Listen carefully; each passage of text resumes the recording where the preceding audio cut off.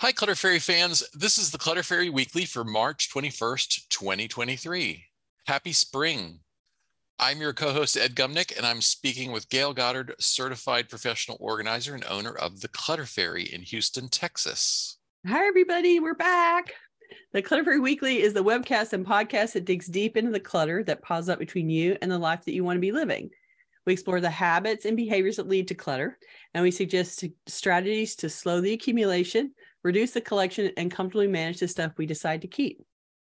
If you're new to our Zoom meeting, we want to let you know that you can share your comments and questions via the chat feature, and I'll try to make sure Gayle gets to them before we move on to another topic. You can also use, use the raise hand feature if you'd like to make a comment or ask a question yourself via audio or video. We're also streaming the webcast live on Facebook, so you can share your question, questions and comments there, and I'll relay them to Gayle. We're going to start by recapping the weekly tittle from oh so long ago. Three weeks ago, we assigned you a weekly tittle called mm-hmm. Buy Nothing Challenge. The assignment was to come up with a solution to one of your organizing challenges without spending any money if possible. We'd love to hear, hear from our participants in Zoom and Facebook who rose to that Buy Nothing Challenge. If you can remember, please share with us in the comments. YouTube viewer Aroma of Hope, I like that name, Aroma of Hope had this suggestion to add to our list of inexpensive organizing solutions. Hmm. An offbeat storage tub I occasionally picked up at work was the empty container from a store-bought store-bought birthday cake. Turn the clear bin, bin in quotation marks, upside down. You even get a lid. They aren't the most durable, but they're clear and can be a nice size for organizing socks, scarves, and such on a closet shelf, and free. I really loved this idea. It was so clever. And as you say, it's not super durable. So you can't use it with anything that has any kind of weight to it because anything that's too heavy is going to punch through it. But it's perfect for lightweight but voluminous things like the socks and the scarves you mentioned. So that, that was a great use of that container. And the lid keeps everything dust free. So great job seeing the free storage possibility in that object and I'm sure that you know when one of them cracks, you can go find another one. Great job. There's always going to be another birthday if you right? work in a place where birthday cakes come, come in for everybody's birthday. Right. It should be a should be a an an ongoing and steady supply, I would think. Mm. Bridget said, I bought nothing for weeks now, only groceries. Proud of myself. Ooh, good job. Congratulations. I saw a comment further up I need to scroll back to. Um, Jane gave a progress report and said, I made it through all nine boxes of paper and just have one consolidated box remaining to read. That's not specific to the tittle, but that's some big progress. That is awesome, Jane. Congratulations. That must feel like the biggest win. I'm so proud of you. She said the rest was recycled and shredded. Awesome. Everything Good besides job. the one she and has so, left to read those nine boxes are down to hardly anything at all. So that is fabulous. I'm super proud. Cheryl asked, "What do you what do you do with textbooks no one will accept?" Mm, so textbooks material gets dated, and that's part of it. Like um, when a school isn't using that textbook anymore, then it, nobody at the school wants it because they want the one that the teacher's recommending. So you do have to um, uh, send them out for recycling or you can donate them to if like if the Houston Public Library here accepts books and then they resell them. Um, you can try Better World Books. Sometimes people like to collect them, so you can make them available through that Better World Books. Uh, that's a website, betterworldbooks.com, and they have physical drop boxes sitting around in you know random parking lots in in the United States. And so if you go to the website, you can see if there's a box near you where you can drop things off. Um, but generally, they're most likely the material is going to be dated enough that they're going to consider it um, uh, ready to be recycled. And so, if you put it into a library system or something like that, or any kind of a a book collection uh, situation like Better World Books or something else like it, then they're going to go through the process. If you took it to Half Price Books, for instance, right now, they would accept it they wouldn't pay you anything for it they would put it through the recycle process so um, you can just put it into a system that goes through the process of um, recycling them Kara reports I found a decorative tray that I had Gayle saying inbox made me think of it. And I use use it to collect the books and notebooks I'm currently into, reading glasses Ah. and a pen. Easy to scoop up and move, and also keeps things corralled. And it's like a it's like your uh, you know reading book project collection. That's great. Yeah. i love it. Your reading and writing station. oh yeah yeah yeah. That's really great. Good adaptation. Uh, And M reports you weren't using otherwise M reports ha- have been working on cleaning the refrigerator. That's something that's, you know, that's it. It seems like it was just a minute ago that I did a huge fridge purge and reported on it, and it's time to do it again. How does that happen so fast? you put a lot of food through that fridge that's why Yeah, I guess so. Uh, Darby says, I'm currently cleaning out the office and playroom as they are getting painted at the end of the month. Lots to go through papers, toys, trash. Yeah, and it's gonna feel like so like refreshing the paint and also refreshing the contents will really feel like you did something special and fabulous in that room. It's gonna be a great um it's a great ancillary project to getting it painted and using the painting as a trigger to make you go through the stuff is great motivation. Good job. a couple of suggestions from the audience on on about textbooks. Renee said, old textbooks, there are places online which may buy them, and I guess that's the Better World books that you're talking about. Mhm. Um, M mentions homes mentioned homeschooler might use textbooks, yeah, depending, on, how old what, they are. you know, well, and what level we're talking about. Mhm, mhm. Um, and Marcy said crafters use old books sometimes. Offer them up on buy no- on your buy nothing group. Yeah, and because then they make altered books out of them, so they go in and fold the pages and cut holes out of them and decorate them, and you know it becomes it becomes a, a background for artwork basically. Um, And Connie good point. mentions Connie mentions some libraries donate to prisons, so that's mm, another uh another place for it to go. Yeah. Exactly. I mean, you know, anybody that handles a large volume of books is going to have a system of um, recycling, reusing stuff, and so um, just find your find your vehicle. And Susie mentions the little free libraries that you see sitting around. Mm. Now, nobody's I don't, there's not going to be a great interest in textbooks like in, in, a, in the little library. Yeah. in the little libraries, but Mhm. um, okay, we have a lot to talk about. We have we probably wrote more than we we will even have time to say today, and so we better get to it. Okay. We're going to start with uh, talking about big organizing projects. They, they can disrupt your routines and leave you feeling swamped and overwhelmed. So Gayle's going to offer some tips to help you break down and keep control of big projects. Thank you to Roz for this topic. Um, Roz suggested we talk about how to plan a project so you can cut it up into logical bite-sized pieces and how to deal with the project at stopping points so that it doesn't impede your life. So that was her request. It's a very important part of any big project, figuring out what the bite-sized pieces are so that you can work in reasonable work sessions. So let's start by talking about the, the survey results around this. Weeks ago, we asked our audience to describe the largest long-term organizing project on which you're currently working. And Terry had this to say, um, downsizing all of my collectibles. This has been an ongoing project for me for many years now. I actively do it for a while, and then I go a very long time with doing nothing. I started off with probably 30 different things that I collected and have that problem of feeling like they're all worth something or should be. I've gone through the trouble and had many yard sales. She goes on to describe some of the other methods she used to uh, downsize her collection.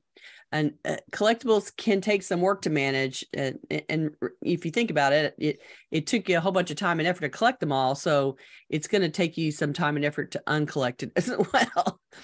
After you spent time and money on them, it's hard to make those decisions to let things go. But remind yourself that the overall goal now is to thin the collection.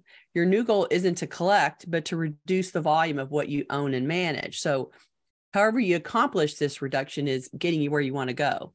If it doesn't translate into getting money back out of things, that's okay, as that's not the primary goal now. It occurs to me too that um, you know one one focus you can put on collections is um, not I'm making my collection smaller, but I'm making my collection better.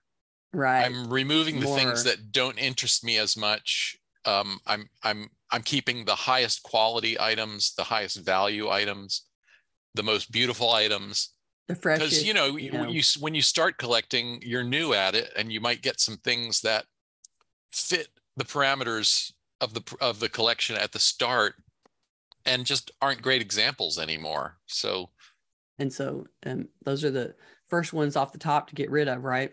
Yeah. The ones that um, you know, started you started with. I've caught your cough now. Oh sorry. Through the airwaves. Um, Suzanne wrote, I would really like to paint the walls and change the flooring in my home. So my long-term organizing project involves decluttering the unwanted, the unloved, and the useless. I don't want to organize my clutter. I want to have to pack and move a lot less, which is an excellent plan. Let me just say that right off the bat. To paint and redo the floors means you basically have to move out.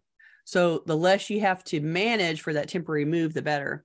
Anything you can clear out for good is one less thing to pack and unpack. Uh, my friend Karen had to redo the floors uh, in her, her whole house after she had a major foundation repair. And, and they had to rent a pod to put on the driveway. And um, they put things in there and they filled up their garage completely with their home contents in order to get it done. And it was a total cookie toss of their whole house. And so anything that you can take out so that's less to deal with is definitely the goal here and it, that's the win when you thin that content collection of stuff that you have to move around in order for them to touch all your floors i mean if you think about it they had to go in all the closets they had to go in under the laundry room they had to move the washing machine the dryer like everything in her house had to be moved at least and some of it most of it had to be moved out in order for them to do their job and so it's a huge thing to try to uh, redo your floors and the less you have to manage, the better. So good job starting on that now. Um, Summer shared the current project is weeding through sentimental items and boxes of photographs left over after cleaning out my mom's 4,000 square foot lifetime uh, home. The top priority is to clutter, but it's so difficult. Yeah. Okay. So everybody has that cache of photos that they got from their parents. They're like, well, these are my parents' photos, but you know you don't care about them enough right it's it's always hard to get into them so um, i will tell you that the best way to deal with photographs is to make several passes and the first pass is to look for the easy toss things.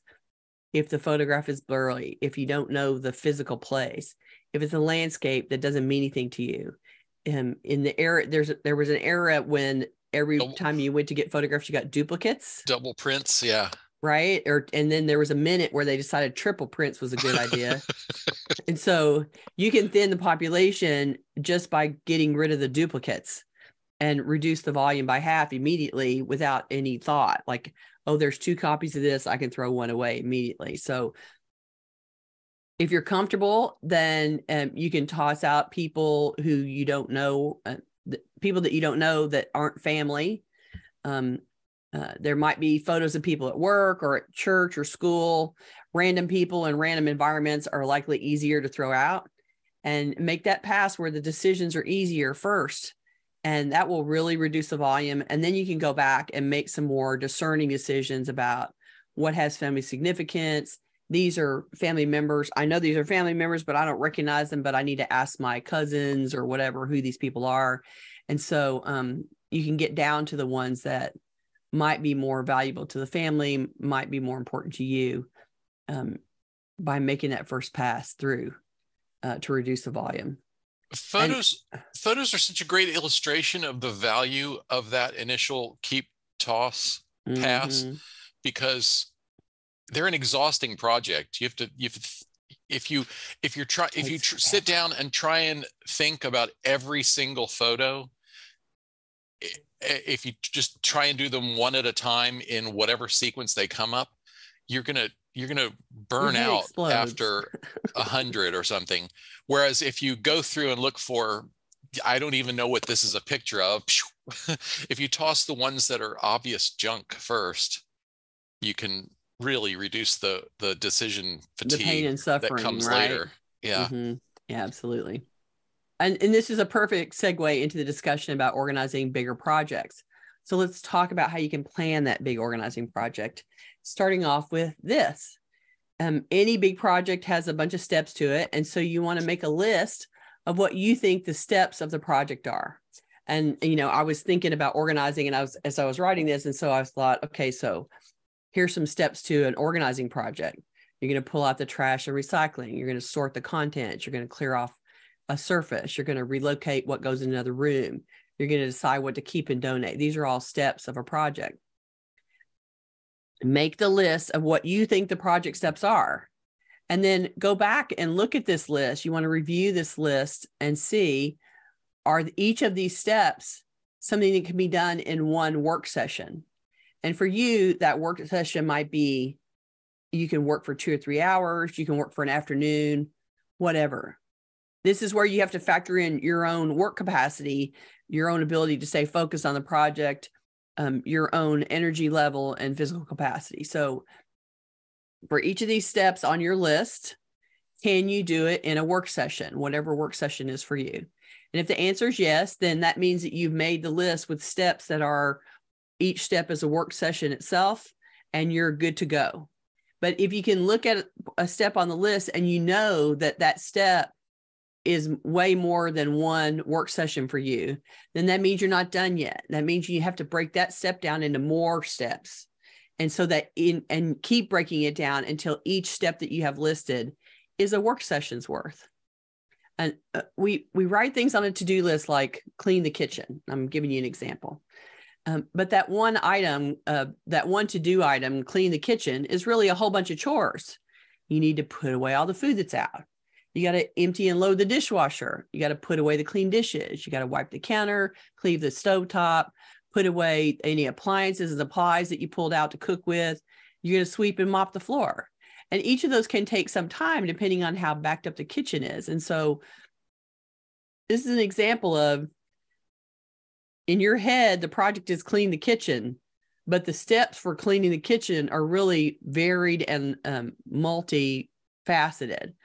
And so any project like that needs to be broken down into when you think clean the kitchen, what do you actually go and do? And each of those steps needs to be listed as one of your options. We do the same thing with organizing projects. We think organize the office, but that really means sort, shred, and file the papers, uncover, uncover the floor and the desktop, put up the books, corral your outstanding projects, make a to-do list, sort the office supplies. Like there's many, many steps involved to organizing the office. And so if you're writing down organizing the office and then freezing because it seems so big, it's because it is, because that really is a whole bunch more steps in that. So whatever you list as a project step first, ask if it can be done in one sitting, whatever that is for you, and then keep breaking that step down into more steps until each one is a work session by itself. And then when you start working, if you actually get it done faster than you thought, great. Like if you thought that doing step A was going to take you three hours and it only took you 90 minutes, awesome. You just, you got some free time after as a surprise. Or you can decide that because it only took you half the time, you can go on to step B and do another step instead. Um, whatever works. And you you want to, as you go through this list that you created, you want to work only for the work session that you can comfortably do. So if you can only comfortably work for 90 minutes, don't start a step that's going to take four hours.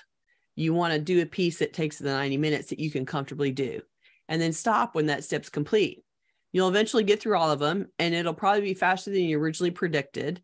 It's likely that your, you know, your estimates about how much time things are going to take are going to be um, wildly off in the beginning.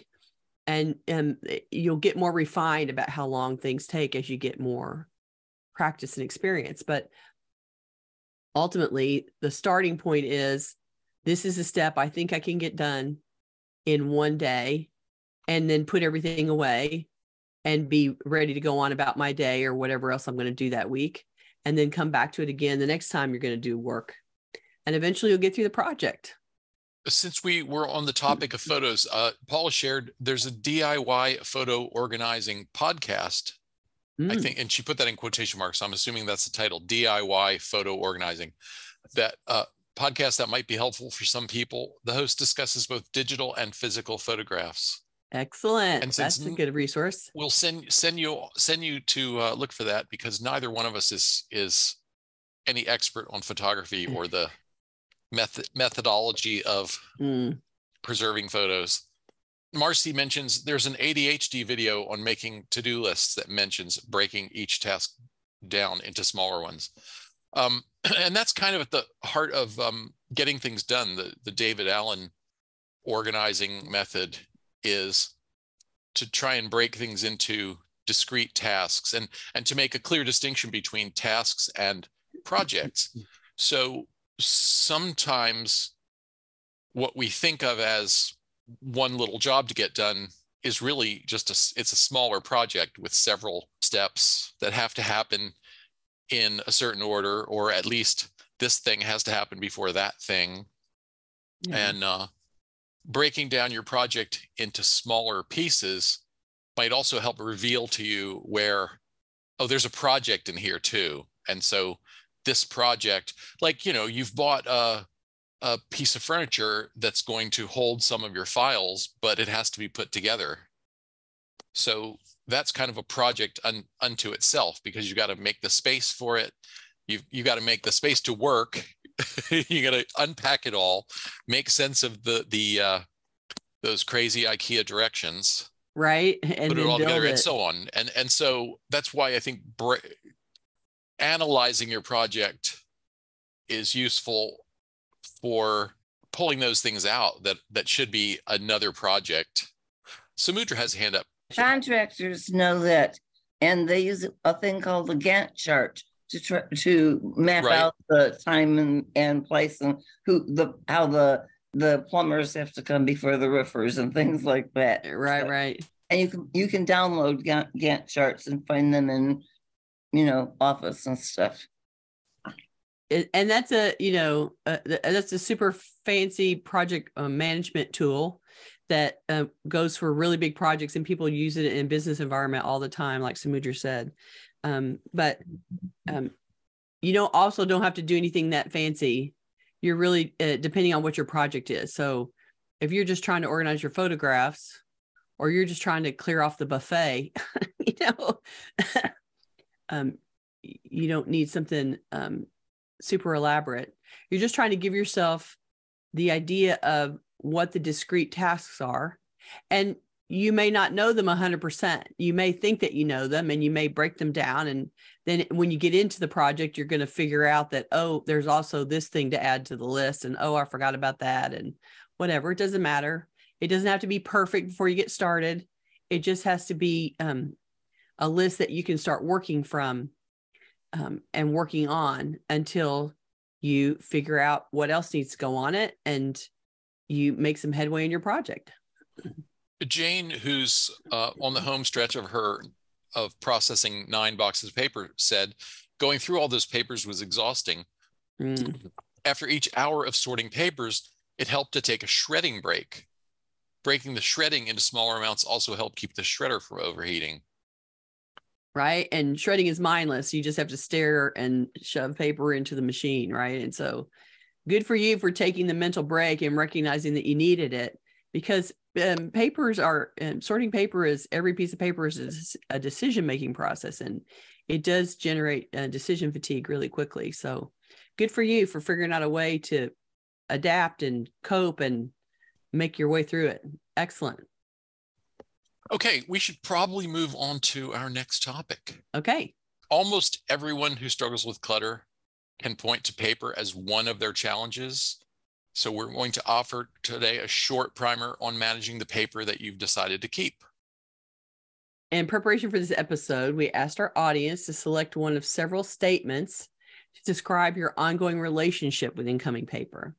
We are delighted to learn that 37% of you sort and manage each day's mail as it comes in, and another 37% sort and mail, sort mail and other papers at least weekly. So good for all y'all. That is awesome. Mm-hmm. and you're staying ahead of the mess.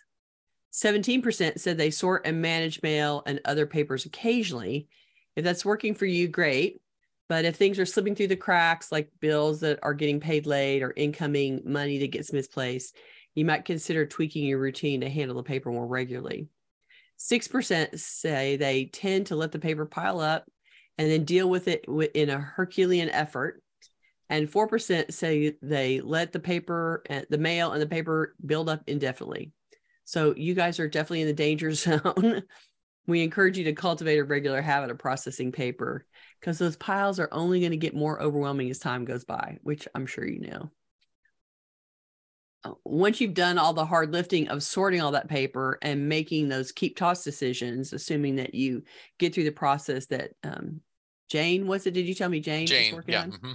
Then uh, you've got to arrange the keep paper some way, and that you can maintain it and you can find things again. And this is where most clients get stuck or overwhelmed because the default is one file per one type of paper, labeled with a proper name usually, um, like the it'll have the company name like the electric company's name or the bank's name and it's filed alphabetically so somehow alpha files are everyone's go-to solution but once you have more than 20 files you can't remember what you named something and so you don't know where any file is in an alpha arrangement.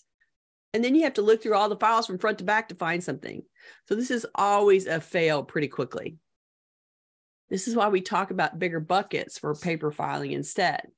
If you can think of the categories of your life and make files for those bigger categories, the bigger buckets, then you can go to that bucket and find what you're looking for most of the time. So you can use alpha within a bucket if you just have to alphabetize something, but start with big buckets first. So let me give you some examples of buckets that an average person needs at home. Um, everybody needs a home file. If you're in a home, whether it's a rental or you own it, you have things related to the house and the contents of the house. And so, uh, one big bucket is the home.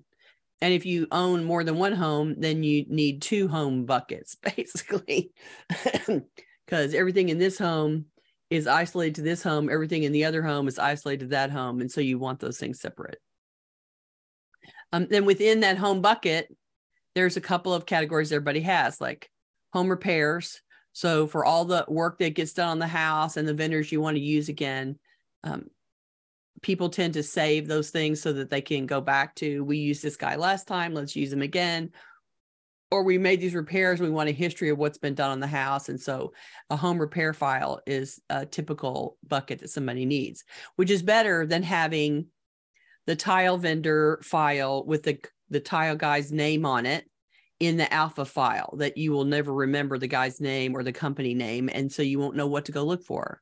But if you have a home repair pile file it's all in there. Home contents is another file.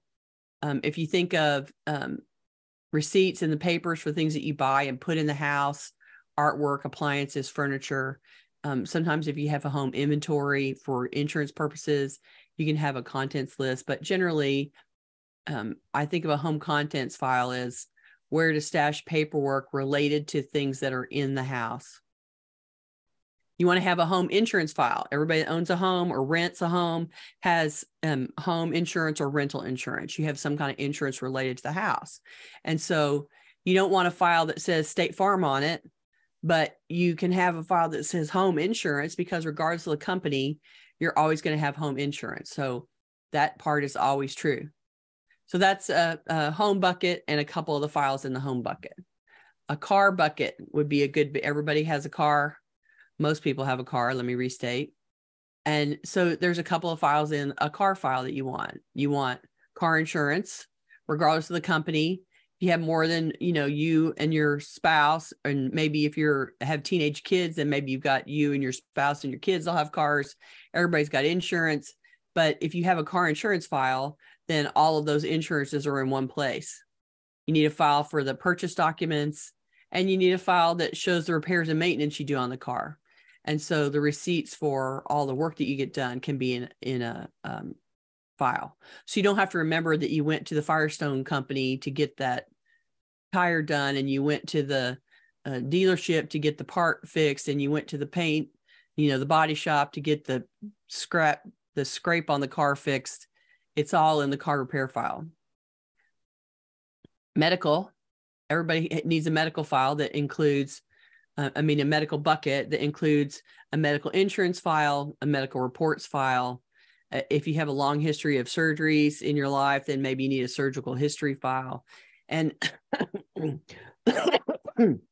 if you have any kind of chronic uh, ailments, depending on how much time, uh, how much of your life you spend in front of doctors, then maybe you need a file that shows sort of the history of the doctor's visits and things that you've been on. Everybody needs a work bucket, whether you're employed so that you are an employee of somebody and then there's paperwork between you and your employer, or if you own your own business, then you're going to need um, work related buckets related to that business. In that work bucket, you might have your work contract. If you're employed, then you probably signed a bunch of paperwork when you signed on. You may be under contract with someone. Um, the retirement benefits that they're offering you, there's going to be paperwork related to that. Work reviews, uh, if you get annual reviews or there's other kind of evaluation paperwork, and your CV, um, uh, curriculum vitae that shows your work history, um, your appearances out in the world, work product, articles that you've um, published, things like that. Um, that can be one of the places where you keep that sort of work memorabilia. It can be a file in your work bucket. Um, a financial bucket, everybody's got finances related to their life. And so, uh, with a file for the banking statements, a file for the investment statements, files for credit card statements, um, and uh, other bill files like utilities or other services, um, you can have a selection of financial related files. That's a big bucket. And then everybody needs a tax bucket, right? There's always got to be a tax bucket. So you're going to have one file that has the tax returns themselves in it. And then you're going to have a tax support file for each year, um, uh, one for the current year. So you can go put things that are tax support into it as the year goes by. And then you're going to have prior year's tax support that you use to make the returns. So these are bigger buckets that you can alphabetize within them. Like if you are if you are in the car bucket and you want to have the purchase documents in in P and repairs in R and insurance in I, you can alphabetize them that way if you want. But um, generally, I'm asking you to shift away from alpha as your orientation to um, the category. What is the category that you're trying to mess with? So that you're thinking about it in terms of categories.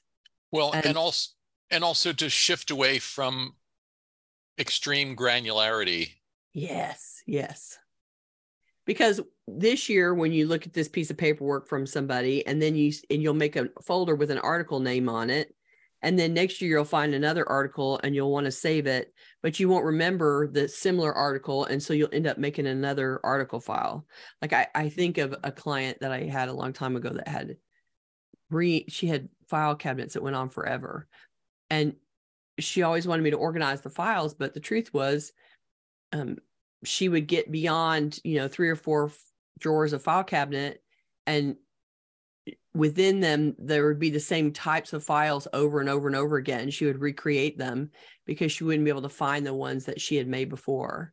And and then she would have one piece of paper in a in a file so that it was it was the art of taking that one piece of paper that you wanted to keep covering it up with a file folder and putting a label on it to make it so that you could find it again except that it was too granular um, for her to ever be able to find anything. And so she just kept duplicating the same files over and over and over again, which was a problem. It was it made a huge organizing project for me, and um, and it was a lot of um, duplication, trip, triplicate, four copies of the same kinds of stuff over and over again. So if, and it made it hard re- to filter by date. Yeah, if you're really, really, really into granular files, then you need to commit to a like a software program, you know, a, an application that in which you register every single thing you file and and assign it you know it gets assigned a number. There are systems like that that will you know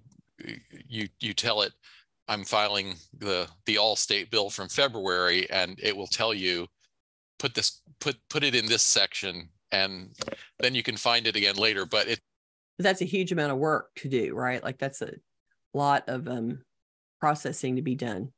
I'm wanting you to think in terms of categories because I want it to be easy for you to come up with um, when you're trying to find something. You don't have to remember where everything is, but it, imagine if you're trying to figure out, okay, I need to know when my car insurance expires. So you know it's related to the car. So you know you're going to go into the car bucket and look at those car files, and you're going to go look at car insurance. And then it doesn't, you don't have to remember the company name. You don't have to remember when the last time you paid something. Um, it doesn't matter because whatever's related to the car insurance is going to be in that car insurance file.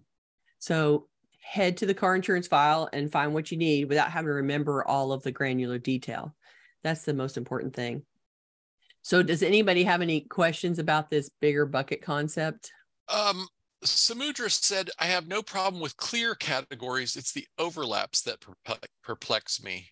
I'd Give me an to, example. Yeah, if you want to jump in, Samudra, with an example, uh, I, my, my default suggestion is write some things on the outsides of file folders you know if you think it could go in two categories put it in one and then on that on the outside of that folder put a post-it or, or write a note that you might also look for it in this other place or, or you know in the place where you didn't put it write a note about where you did put it well if you think um, about it you're going to have to look for it anyway right there's there there's some amount of searching that's involved so if you have to decide between did i put it in category a or category b that just means there's two places for you to look.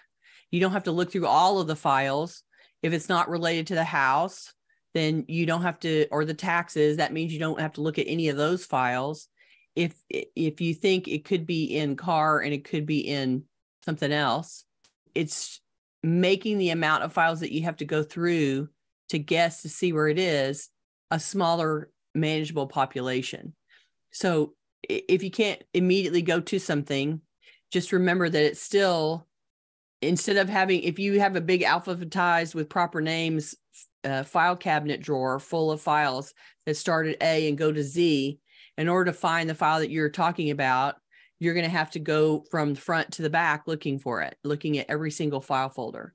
But if you have the categories set up then you've subdivided those file folders. And um, if you have to look at more than one category you're still not having to look at the front to the back, the 100% of the population. And so all you're really trying to do is is shorten the amount of time that you have to hunt um, and and make it be logical and generic. The hunt is more generic so that you don't have to remember a, a vendor's name a, a company name uh, a, any kind of a date period or anything like that. You can just go looking for the big generic. It's related to the car. I need to go look in the car files. And then you're looking at those four or five files and flipping through paperwork instead. Yes, ma'am. That's not quite what I'm asking. I have like three kinds of insurance health, home, car. That's it. Right. So okay. does the do I have an insurance folder or do it does the home insurance go with the home stuff and the car insurance go with the car stuff and the health insurance go with the health stuff? So I would do oh, it this, the second way, yeah, because I think um, when you are dealing with health insurance, it's because you're having to deal with things related to your health and your medical and you know providers and what benefits are covered and whatever. And so um, it makes it it it makes sense for it to be there with all of your other medical related stuff. When you're dealing with the house insurance, it's because something's wrong with the house and you're going to have to file a claim and you're going to have to get repair people to come and so the things related to the house are all together. And you know because because when you're dealing with medical insurance it almost 100% has nothing to do with your car insurance your health insurance i mean your home insurance and vice versa. When you're dealing with the car insurance it has nothing to do with the other two. And so um yes it's all insurance but they wouldn't you wouldn't have to consult your home insurance and your medical insurance at the same time most of the time. Gotcha. And does that make sense? Yes. Yes. I'm just trying to be. Um, I'm trying to um, create categories that are logical in terms of how you would use them and need also, to retrieve they're, data. They're good. They're size relative too.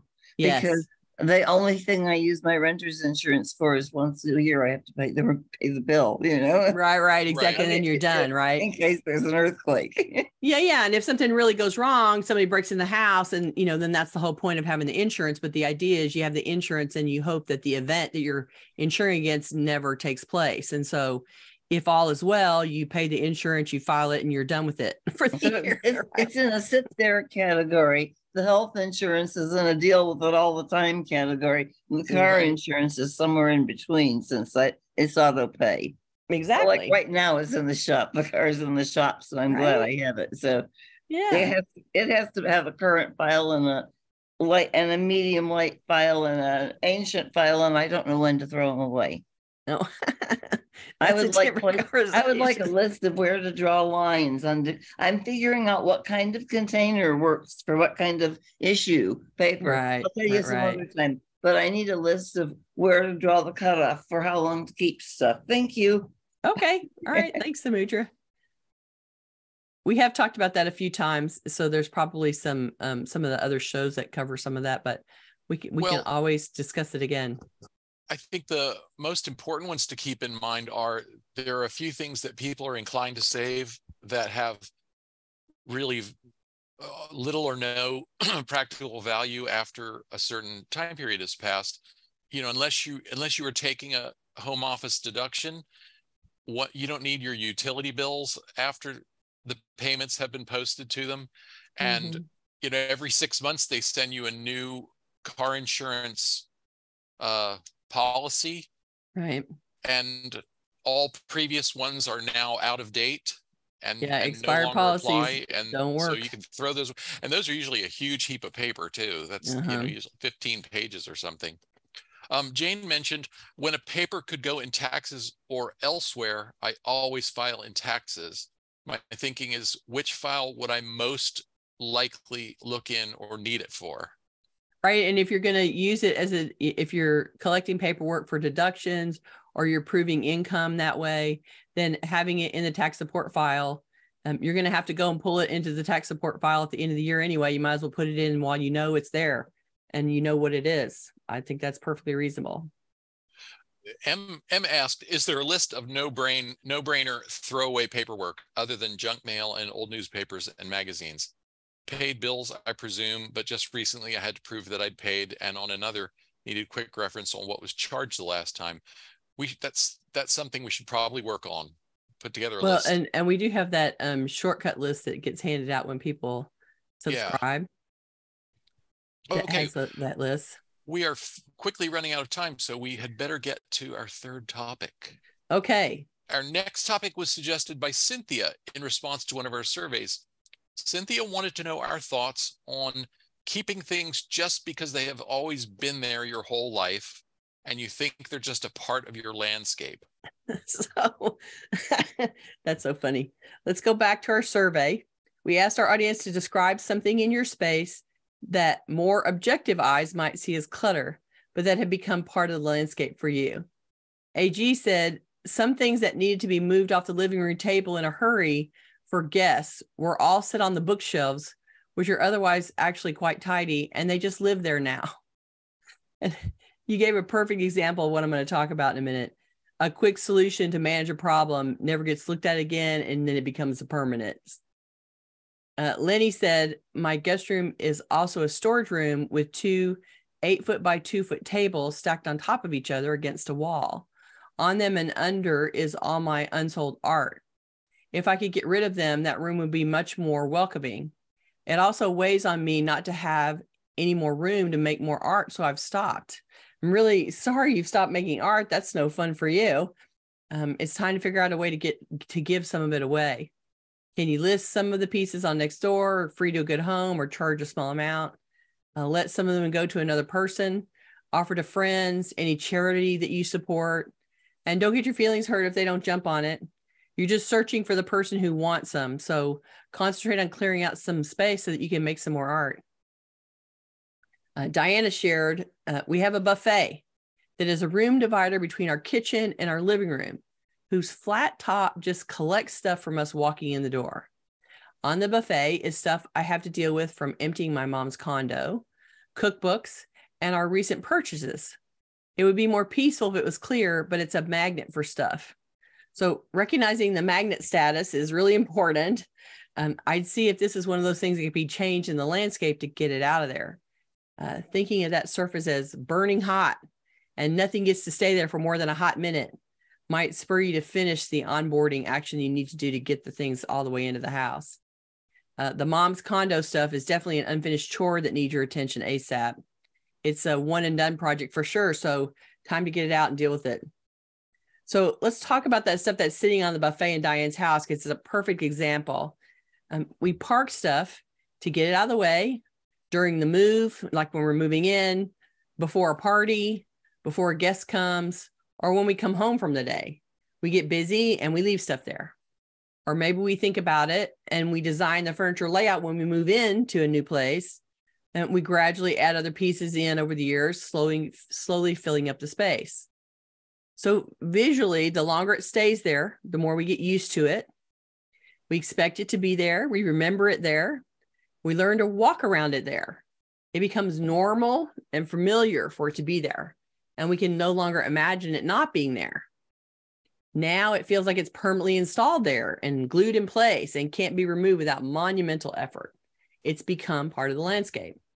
And we vaguely notice it, but we always expect it to be there. So I'm going to say to you change is hard, but none of that stuff is permanent. It's time to put on your x ray vision today goggles so that we can see that stuff again. Is that big cabinet in the corner really necessary now? Does it make sense there, or could it be somewhere else in the house? Is the overall volume of things bigger than my actual home space? What got added over time just doesn't really belong here after all, maybe. What did I inherit that just doesn't work for my family? What worked for 30 years? What things that actually have worked for the past 30 years, but don't work for what's happening in my life now? does this item or furniture or artwork or clothing, etc., reflect who I am and what I'm doing right now? You all talked about that with Ed last week as he was telling the story of us working together in his house, telling him that a piece of memorabilia was not who he is now, allowed him to edit it from his belongings. And you can use that as a screening process to see everything in the house through that those goggles. It may have been there for 20 years and you may be used to it being in the landscape, but that doesn't mean it can't be moved. It's just stuff, it's just furniture, and it can be shifted around. People that like to decorate find this process entertaining and fun. They love stripping apart, re envisioning, rebuilding a space. The rest of us, not so much. Mm-hmm. it just seems like a lot of work. But when it's become part of the landscape, it's time to actively get out those goggles and look at something with fresh eyes and go, I know it's been over there in the corner for forever. I know those things have been on the bookshelf for forever, but do I really want them to live there forever? Or was that just a chore that I didn't complete? Was that just a project that I never circled back on? Was that an impulsive action to cope with a situation that I never circled back to clean up?